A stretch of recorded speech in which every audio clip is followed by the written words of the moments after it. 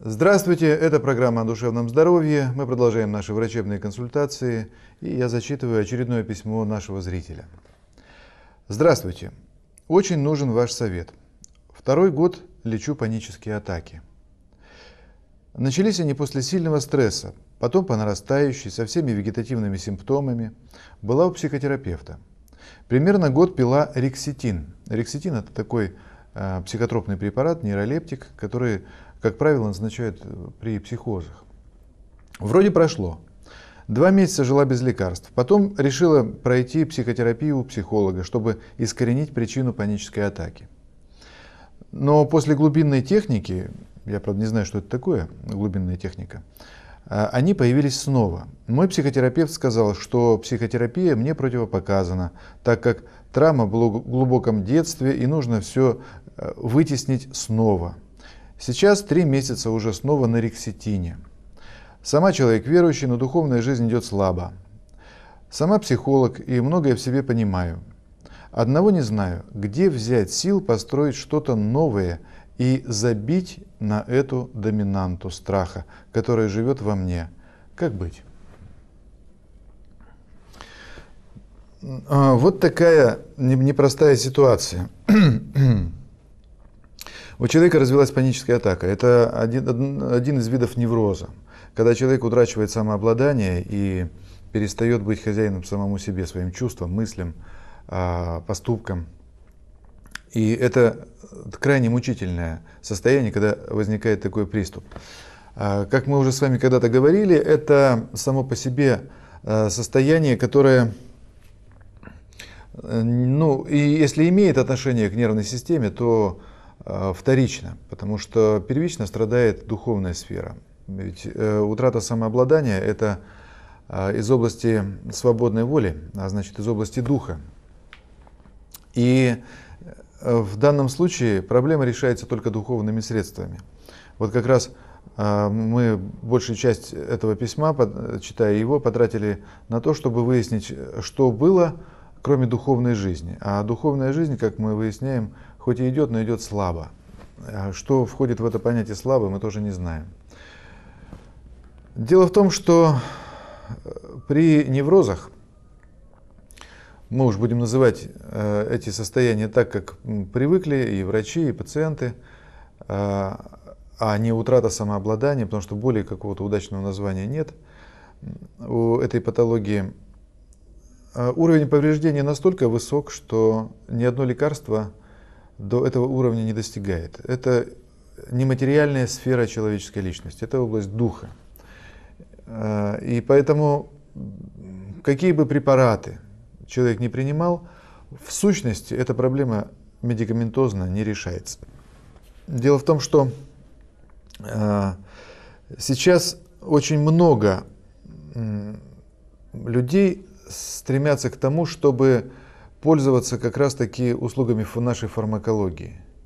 А, и тем более, что эти услуги очень навязчивы. И со стороны самих врачей, и со стороны даже средств массовой информации мы сейчас везде можем видеть рекламу лекарственных препаратов. И иногда таких препаратов, которые меняют сознание человека. А само по себе это печально, но э, понятно, потому что медицина стала заложницей рыночных отношений. И зачастую обслуживает интересы фармацевтических фирм. Поэтому сейчас, если прийти на прием к какому-то врачу, э, не обязательно психотерапевту, а обычному участковому терапевту, педиатру, невропатологу, кардиологу, то обязательно мы получим целый набор а, назначений медикаментозных, э, иногда даже в виде такой, знаете, полипрагмазии, когда одному человеку одновременно назначается больше четырех препаратов. Причем препараты все дорогостоящие, и человек вынужден, руководствуясь назначениями врача, тратить деньги, принимать эти препараты и с совершенно непредсказуемыми последствиями. Потому что даже если два препарата назначать человеку одновременно, то врач уже должен предполагать, какие будут последствия при взаимодействии этих препаратов. А если назначить одновременно 4 препарата, то э, каков будет результат, не возьмется предсказать вообще никто. Потому что не бывает так, чтобы два вещества, одновременно находящиеся у человека в организме, не меняли бы действия друг друга в ту или иную сторону. А в данном случае был назначен препарат, который ну, совершенно не показан э, при этой патологии. Дело в том, что я не собираюсь э, подвергать сомнению э, компетенцию э, этого доктора, который назначил препарат. Просто у таких препаратов, как рекситин, э, есть совершенно строгие особые показания. Это антипсихотический препарат, который назначается тогда, когда у человека развивается психоз со всеми его проявлениями. Это бывает при шизофрении, при маниакально-депрессивном психозе, эпилепсии, депрессии. И каждый врач, психопсихиатр знает, в каком случае какой препарат назначать, как корректировать э, эту терапию, чтобы сгладить проявление психоза. И каждый психиатр знает, что даже если этот препарат назначен по показаниям, он всегда будет действовать не идеально. Чтобы избавить человека от всех проявлений психоза, чтобы он чувствовал себя абсолютно нормально, выглядел как психически здоровый человек, э, такое достигается с помощью психотропных препаратов крайне редко. Даже тогда, когда этот препарат показан. А в данном случае психоза нет – человек психически здоров. Хотя, конечно, душа его страдает. Душевные свойства человека тоже из, изменены, но страдают вторично. Поэтому, если назначить э, какой-нибудь психотропный препарат тормозного действия, вот такой, как рекситин, то какое-то изменение он вызовет. И, может быть, даже у человека временно облегчится самочувствие, потому что действительно в состоянии панической атаки человек возбужден, а этот препарат может как-то сглаживать, подавлять это возбуждение. Но дело в том, что это напоминает стрельбу из пушки по воробьям. Конечно, если выстрелить из пушки по воробьям, то э, воробьи испугаются разлетятся, э, кого-то, может быть, снарядом заденет убьет насмерть, но все-таки это не, как бы неэффективно. И главное, что не достигает цели, не достигает а, причины развития болезни. Причина в духовной сфере.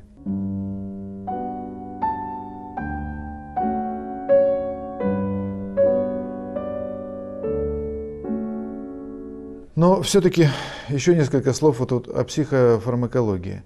А, я хотел бы многих наших слушателей и зрителей предостеречь а, от увлечения психотропными препаратами. Но уж больно это стало модно. А, это напоминает некую, знаете, такую, что ли, эпидемию увлеченности психотропными препаратами. По любому поводу. Бессонница, раздражительность, э, возбудимость чрезмерная, наоборот, заторможенность, э, вялость, апатия. Э, люди зачастую сами себе ставят диагноз, такой как депрессия, такой как психоз, и сами пытаются отыскать эти препараты даже без обращения к врачу. И в итоге мы получаем очень серьезные проблемы. Нет э, таких психотропных препаратов, которые бы не меняли сознание и не вызывали привыкания. И даже тогда, когда человек понял, что он ошибся, когда начал принимать эти препараты, перестать принимать их для него уже представляет большую трудность он понимает, что он без них уже не может. И препараты, не улучшая в принципе состояние здоровья человека, а уже оказали на него такое воздействие, что человек, по сути дела, стал токсикоманом. И он теряет покой, сон, э, нормальное настроение, фон настроения в отсутствие этого препарата. И вынужден его принимать все больше и больше и больше, дальше, дальше и дальше. И сейчас вот эта лекарственная зависимость – это серьезная очень проблема. А что касается панической атаки, как и других видов невроза, то, конечно же, здесь наиболее действенным и наиболее эффективным, пусть не таким быстрым, как при принятии таблеточки какой-нибудь, но все-таки надежно человек избавляется от э, этой проблемы тогда, когда он нормализует свою духовную жизнь. Человек утратил какое-то свое, свое душевное качество в процессе жизни, в процессе общения с этим миром, с людьми, а, живя самонадеянно и самоуверенно, как все мы. И, значит, растрачивая и растрачивая свои душевные силы. И вот одно из душевных качеств, такое как самообладание, когда человек может управлять своими чувствами, а, желаниями, мыслями, поступками, когда человек утрачивает это, у него как будто бы уходит почва из-под ног. И человек теряет основу жизни. Он э, всегда рассчитывал в жизни на себя, полагался на себя. Раньше у него это получалось. Захотел – сделал, не захотел – не сделал. Немножко поволновался, сам себя успокоил. Э, возникла какая-то неприятная мысль. Попытался от нее отвлечься, получилось. Возникло какое-то тревожное чувство. Привел себя в норму как, ну, с помощью каких-то там приемов, а, опять-таки переключился на что-то другое. И человеку долго казалось, что он так и проживет всю жизнь, э, занимаясь вот такой произвольной саморегуляцией. Но однажды человек обязательно обнаружит, что это свойство иссякло, оно закончилось, у него его больше нет, пользоваться больше нечем. И человек становится рабом э, вот тех болезненных расстройств, которые возникают у него вслед за утратой самообладания. Это обязательно страхи, это обязательно э, ужас перед неизвестностью.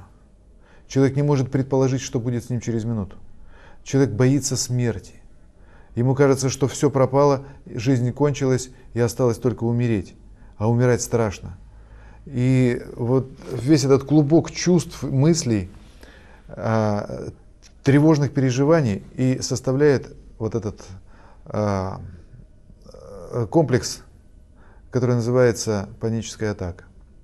Так вот, тогда, когда человек благодаря этому смирится и поймет, что он не может управлять сам собой, ему это просто не дано, что единственный способ жить и чувствовать себя нормально и уверенно, это когда ты всего себя без остатку доверяешь Богу. И тогда не о чем беспокоиться тогда тебе ничего не страшно. И э, это происходит не на уровне самовнушения, не на уровне аутотренинга, тем более не с помощью э, препаратов. Это происходит благодатно, потому что в смиренное сердце сразу же входит благодать Святого Духа. И человек обретает вот это утешение, которого мы все ждем от Бога. Духа утешителя, которого Бог послал всем своим последователям. Поэтому я рекомендую нормализовать свою духовную жизнь, поинтересоваться, э, что она в себя включает, из чего она состоит, а духовная жизнь много в себя включает элементов, и так настроить свою жизнь, чтобы быть избавленным от этого душевного расстройства. А, я напоминаю, что вы можете заказать комплект моих лекций «Школа православного самосознания» а, из пяти штук, дисков, диски из пяти штук по телефону в Екатеринбурге 219 71 21. Подробности на сайте боровских.ру. Сегодня я с вами прощаюсь. Будьте здоровы и с Богом.